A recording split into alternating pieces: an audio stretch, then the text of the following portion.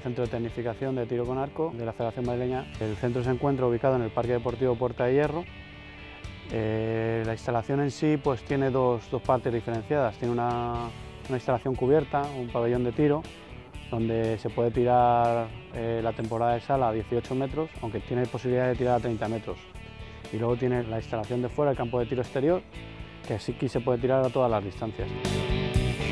Oficialmente, digamos, se abrió en el 2005. Antes de tener esta instalación como tal, con pabellón y campo exterior, había un campo de tiro exterior, pero bueno, estaba muy descuidado, tenía parapetos por ahí sueltos, no tenía ni mucho menos la, forma que tiene ahora. Este centro de, de, tenificación, digamos que en España no hay ninguno igual, es un centro muy, muy grande porque abarca tanto el pabellón de tiro como el campo exterior y en Europa puede haber dos centros más parecidos o similares a este, porque digamos que está entre los tres mejores centros de toda Europa. La misión principal de este centro es entrenamiento de arqueros para alto rendimiento. Nosotros trabajamos sobre todo con chicos eh, hasta categoría junior, desde categoría de menores de 14, que es la edad mínima, que empiezan con 9-10 años, hasta la máxima que son 20.